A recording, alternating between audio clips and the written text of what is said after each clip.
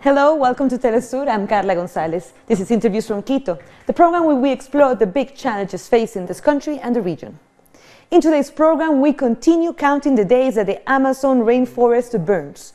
It's been weeks, and the areas affected are not only in Brazil, but have spread to Bolivia, Paraguay, and Peru, with more damage expected in other countries as well. So, who is to blame for this disaster? Are the governments not doing enough? Or is it just part of the Earth's cycle due to deforestation and droughts? To answer all that, we have Carmen Josse from Ecociencia Foundation. But first, let's take a look at this video. Fire is still on its way to devastate the Amazon. Around 800,000 square kilometers have been burned by negligent fires started in the jungle. This doesn't only jeopardize the stability of the Latin American ecosystem and weather, but also of the whole world. The Amazon absorbs almost half of the CO2 emissions of the world and is very important for keeping balance in the weather of the northern hemisphere. Which effects will this have on climate change on a short and long term? Follow our analysis. So, thank you, Carmen, for being with us. Thank you. So, how can we explain the Amazon forests burning at such record levels? Well, um, at this moment and after almost two weeks of, of this um, tragic event, really, um, what we see is that there is not enough uh, effort put into uh, putting out the fires. Um, there is a lot of rhetoric uh, from the side of the Brazilian government, really, and um, it was probably um, too little, too late an action um, that indeed we are not yet seeing um, um an important result in, in terms of uh, really uh, putting out the fires, extinguishing the fires. Uh, rather, the, as far as I understand, and probably we all know, they are um, restarting in some places, and the number of uh, fire points of, or fire focus uh, is still um, growing uh, as of today. Um, so it is difficult to say um, really uh, what is the level of effort um, that will uh, put out these fires. In the case of Bolivia, uh, despite the, you know, the the dedication uh, already of uh, longer time than in Brazil of uh, people, resources, um, um, uh, you know, this this this uh, uh, tanker airplanes and so forth. Um, they are not still good news, and in the case of Brazil, um, the number of fires is much larger, and as I said, uh, too little, too late, probably. Um, so it is difficult to say when this will uh, stop. And you were mentioning the, the policies of the Brazilian government. So why is Bolsonaro picking on a fight on the NGOs? You belong to an NGO yourself. So how can you explain this battle that he says the NGOs are the ones that are responsible for the fires? How could that be possible? Um, well, uh, definitively it is not possible. It is absolutely impossible. I mean, NGOs have not, um, you know, the resources. I mean, it's not, it, it's just absurd to think about something like that. Uh, the fact that, as he said, uh, we are going to look for more funding after this, that, that, that is not the point. I mean, as NGOs in, in all of Latin America, and I'm sure in Brazil as well, uh, they have been doing for decades uh, very strong and important work um, in, in, in the case of the Amazon. And it's not these uh, fires that will, you know, put more resources into the hands of NGOs or anything like that. Uh, the, the, uh, basically, the response of the government of, of, Brazil is enough to, and it is evident when, despite who, to, who, who bears the blame, okay, it is, it is if, if it would be a government that is conscious about the importance of the resources that are being lost at this moment and that would show some even compassion uh, for the people who is living there and who is suffering tremendously from all of this, uh, that is Brazilian people, um, he would not pick these fights. He would be, he would act basically.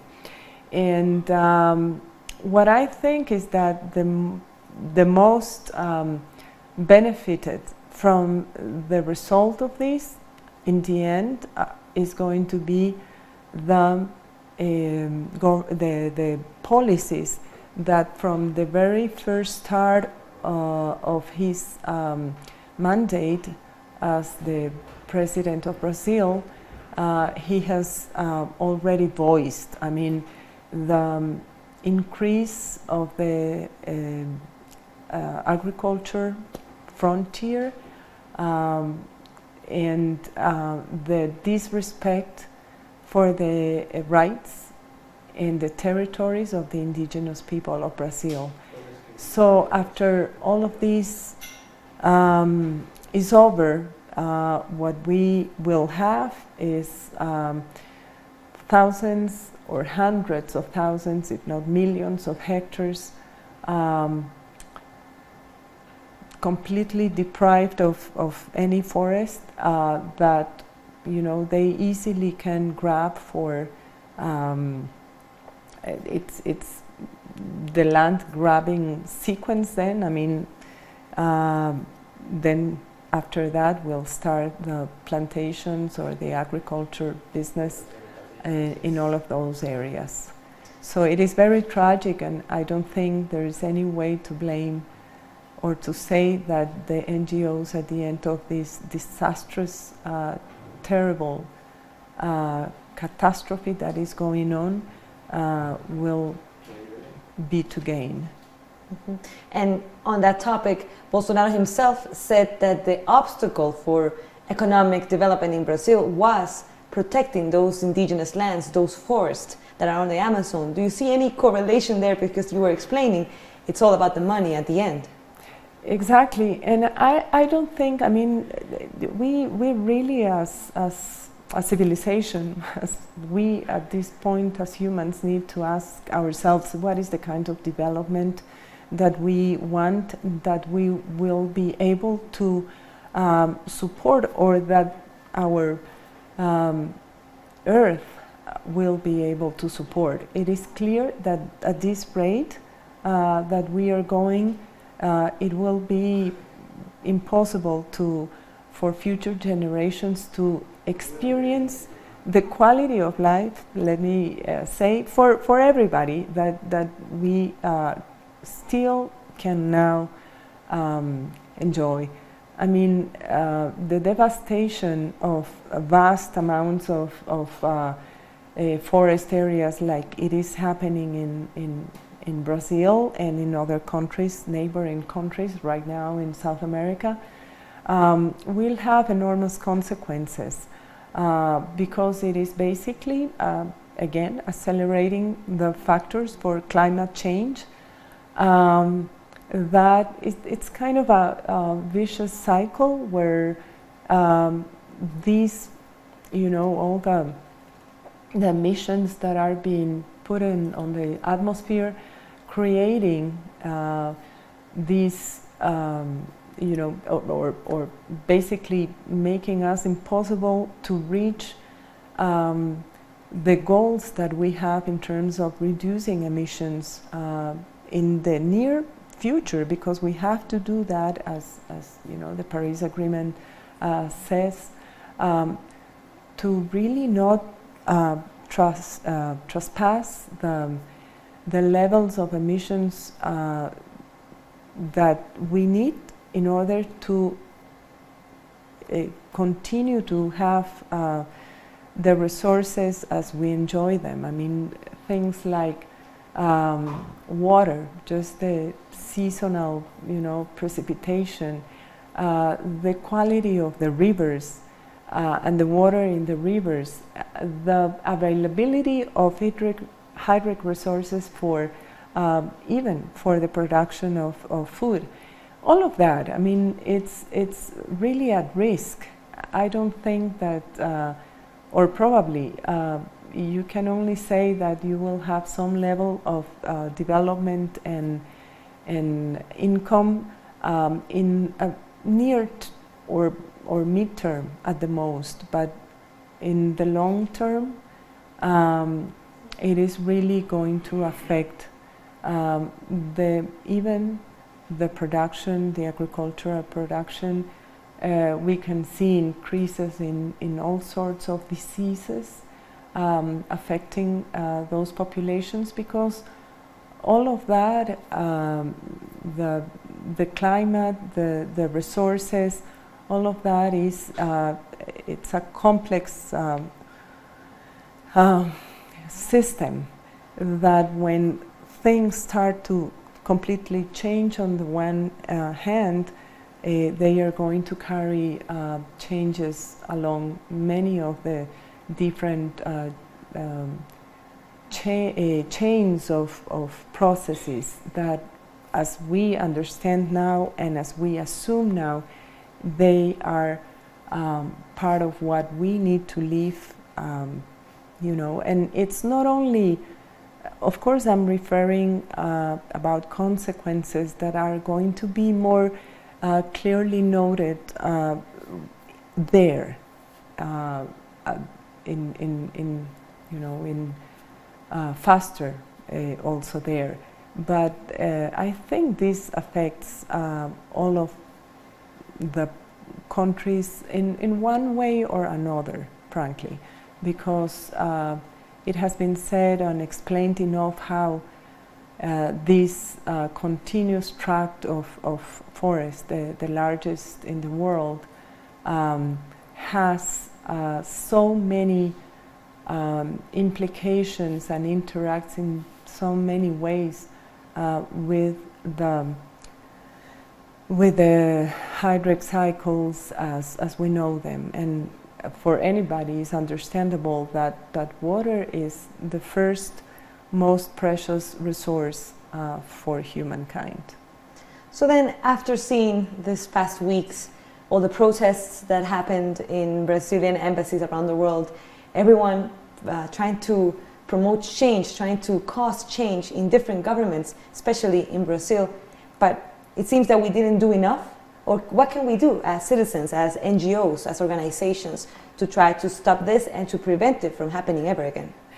I, I, I one thing is that uh, what we are seeing is that not only in Brazil but in other countries as well, uh, the um, governance of the natural resources, usually what you know is in the hands of the ministries of environment around the world. But here what we are seeing is that it is getting weakened you know, it is intentionally being weakened. Uh, the, the, the, idea uh, to have less um, control uh, on the natural resources so that basically uh, business can go on uh, with, with, you know, in that sense, less cost um, and more profit probably. Uh, so at I think that we as citizens, we need to continue voicing uh, our um, total, oh my God, our total um, um, rejection. Could rejection, a, yeah. yeah. rejection to to those policies. Um, there are other ways of of still producing, still developing more, much more sustainable ways of doing that. I think that if we don't uh, become conscious about the importance of that and the fact that we are approaching really a um, threshold for that opportunity. Um, otherwise, uh, what we are going to see is just uh, much more people having all sorts of uh, uh, problems in, in really um, you know, advancing uh, alive because this, this kind of development, development that they are uh, talking about is only um, development for a few, really, for a few. And in the end, uh, when you destroy resources at that rate, resources that are the only resources that are available for um, very large uh, part of the population that is rural, that lives there, that needs the water and the quality of the water, that needs the food that they can get uh, from those uh, natural um, habitats, um, then basically what you have is just an elite that is making profit out of that, out of a, a resource uh, that is really uh, from everyone. So I also want to see the other side of the argument because a lot of uh, analysts and specialists, especially in Brazil, they keep saying that this is a political topic, that the fires in the Amazon are something that happens every once in a while, that it's normal for the Amazon to burn at those rates. Is that the case? It can be, yeah. I mean, there have been other years when, when tremendous wildfires have uh, taken place, um, you know, erasing also millions of hectares of forest. It has happened in, in Brazil and it has happened in other parts of the world, in Indonesia, for example. Um, what is different this time, and it's really different, is that there is not going to be a recovery, or at least from what we can see and from what just yesterday said the government uh, when was meet, when when uh, the president uh, met with the governors of the um, states of the uh, Brazilian Amazon, eh, bringing up again the fact that uh, the indigenous territories need to be open uh, basically for business. So the kind of government and the kind of policies and this kind of dismantling of the you know environmental um, governance that was in place in Brazil until Bolsonaro came into power uh, that is what is not going to be there after the uh, fires. So in 2010, for example, uh, there was a big dry, uh, a big drought, uh, very intense as well. Um, but then uh, the government uh, and the Ministry of Environment, you know, with with Marina Silva uh, in front really put in place several uh, policies that rather were uh, uh, pointed or geared towards um, you know, facilitating uh, the recovery of, of areas that were meant, uh, you know, to, to recover. Um, they also um, increase the area that was under protection in the Amazon, in the Brazilian Amazon. Um, and so what we, it, it's very different in that sense that after those events, uh, it depends on the government and the public policies that you have in place to see what will be the outcome, the final outcome or the the, the use of that land, correct? Now, if we, if, you know, let's say we don't have the numbers yet about the areas that have been burned uh, in terms of forest, like, you know, because a lot of that, or, or a lot of what is burning, is uh, areas that uh, were already agricultural areas, let's say. But of course, there will be new areas um, that will be completely devoid of, of, uh, of, of uh, vegetation. So it is very likely that those will be open again just for agriculture. And, and from then on, all the, the policies to, to open even, you know, uh, even much more than what has been burned, of course, uh, much more territory for, for business uh, that is going to have a completely different effect at the end of the, the cycles. Let's say that we have in eight years or so another drought and again uh, wildfires.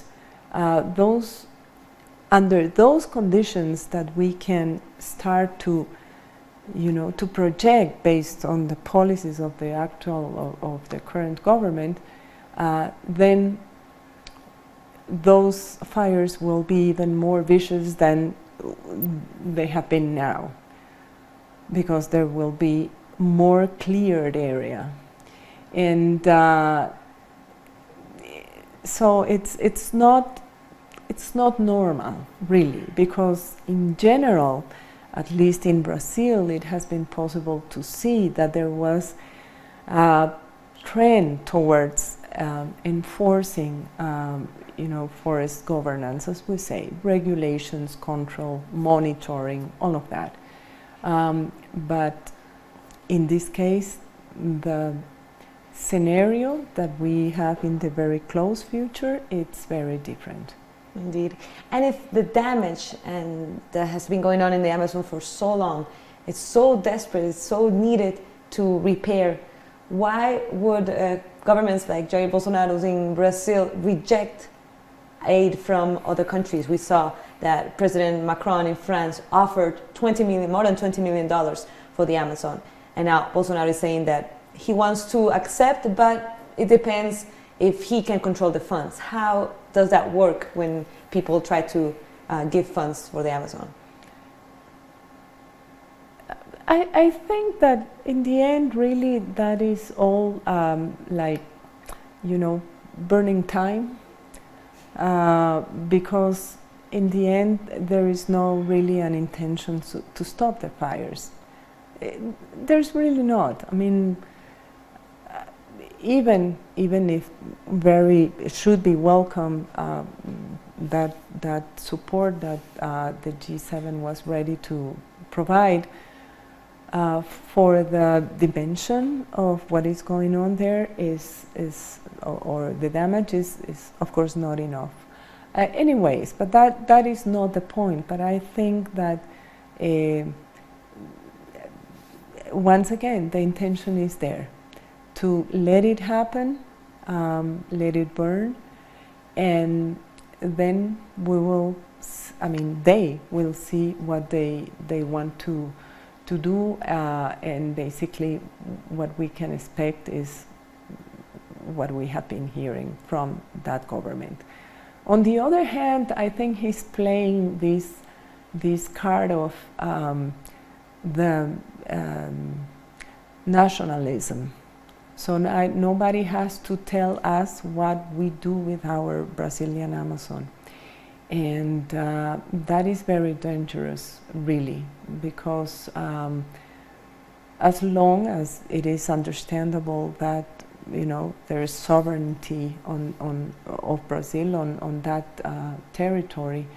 But at the same time, um, all the science has uh, explained, shown, studied how important that forest is not only for Brazil, for, but for the humanity. So it's, it's pretty much like with human uh, rights when when there are some instances or or um, um, institutions, you know, that are multilateral, uh, that really need to have a voice and have the possibility to act uh, in front of such um, um uh, level of problems I was referring to to uh, human resources, but in this case, it's also it's also ethic to just uh, do something about it. It's not just an issue of the fires in the Amazon; it's a human rights issue, as you said. Yeah. Thank you very much, Carmen. Unfortunately, we are running out of time. But thank, thank you. you. Thank you for the invitation. Thank you. So we've been talking to Carmen Josse from Ecociencia Foundation about the damage done to the Amazon for the past weeks, how it is still ravaging our forests, and the consequences we will be dealing with in the near future.